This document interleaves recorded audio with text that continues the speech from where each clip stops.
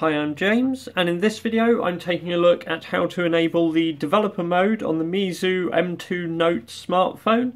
Um, this is a bit different to on your typical smartphone uh, or your Android phone as you don't have the same settings control panel. So typically with Android you would go to About Phone and you would tap on the normally the build number I believe but we don't have a build number in here. We have Flyme version, which is their OS skinning. Um, but if we tap on any of these, we just get a copy and paste dialog.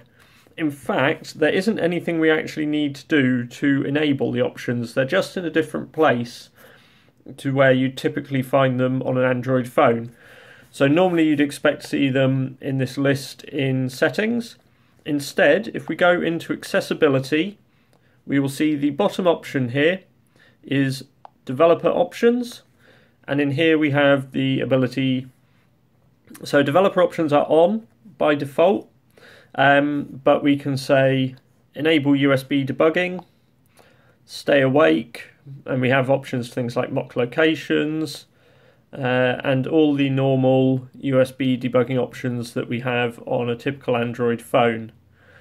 So, dead easy to do, not really anything special, just important to know where you should be looking for them. I hope you found this video useful and be sure to subscribe to our channel if you want to see more on the Meizu M2 Note in the future. Thanks for watching.